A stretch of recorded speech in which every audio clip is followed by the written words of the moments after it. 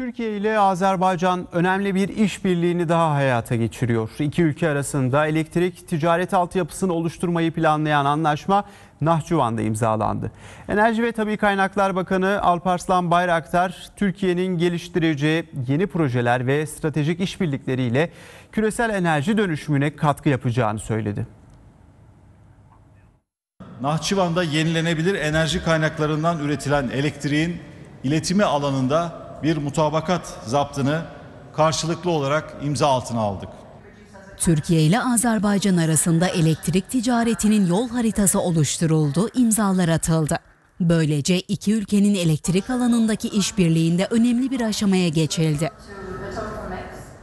Enerji ve Tabi Kaynaklar Bakanı Alparslan Bayraktar, Azerbaycan temasları çerçevesinde Türkiye-Azerbaycan 3. Enerji Forumu'na katıldı. Nahçıvan'dan önemli mesajlar verdi. Enerji alanında büyük bir dönüşüme ihtiyaç olduğunu söyledi. Enerjideki dışa bağımlılığımızı azaltmak ve önümüzdeki 30 yılda yani 2053 yılında karbon nötr bir ekonomi olma hedefleri doğrultusunda şekillendiriyoruz. Bakan Alparslan Bayraktar, ikili ve çok taraflı işbirliklerine ihtiyaç duyulduğunu belirtti.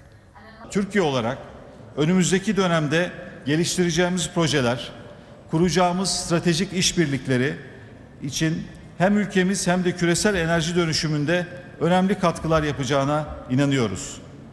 Zengin hidrokarbon kaynaklarına sahip kardeş ülke Azerbaycan'ın da enerji dönüşümü için benzer hedefleri olduğunu biliyoruz.